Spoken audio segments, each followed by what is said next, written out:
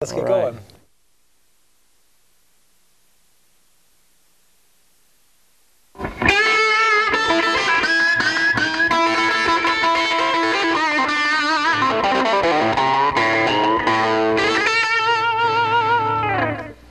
All right, this is a 1952 Telecaster, and uh, it's one of my favorite guitars. It's like the workhorse. I mean, if, if you don't have a toothbrush and you don't have a Telecaster, you're in trouble.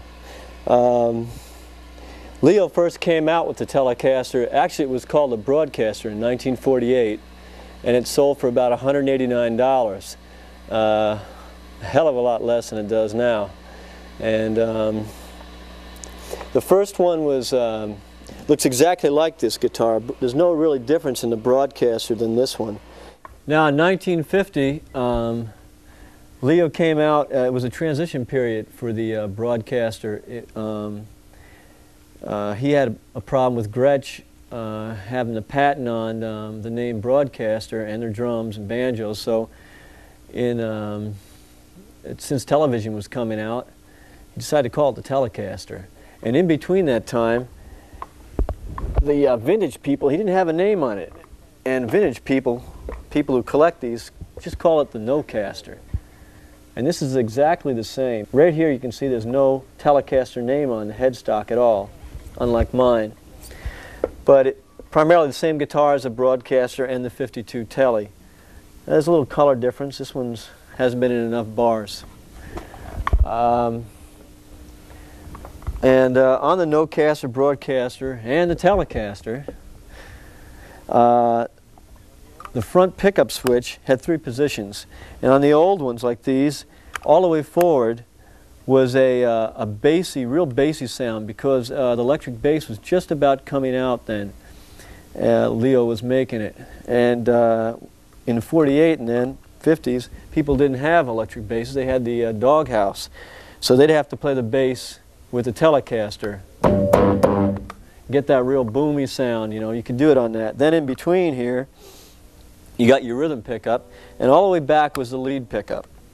And on both all those guitars, in the early, from 48 through 55, until 55 rather, the back pickup was flat, flat poled, the uh, magnets were flat against the pickup flush.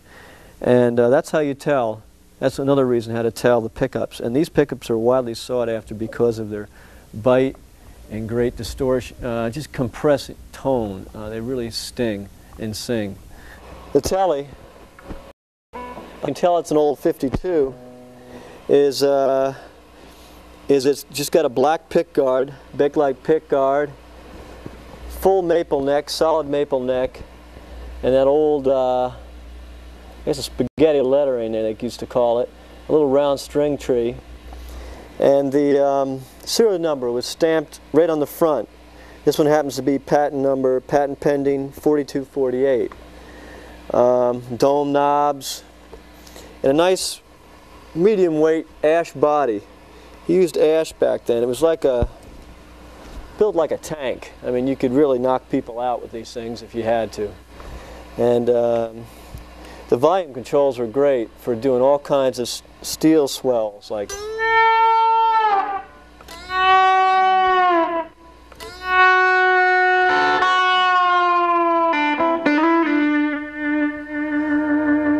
which you could also do with the town, tone control because uh, it was um, it's also easy to get at. Let me talk about the amp I'm in right now because it's so funky. This is the mate. This is called the Fender Super Amp.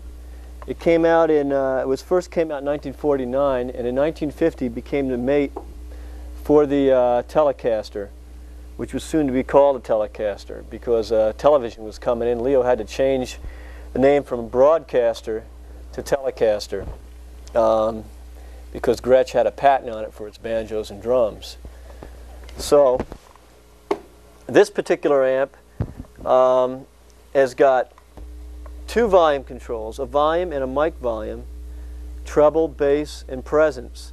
And it's got the old um, Blue Jensen Alnico speakers, which gives it that warm tone. And uh, had about 30 watts. There's something about the um, Tweed, Tweed amps that just has a real uh, transparent tone to them. Um,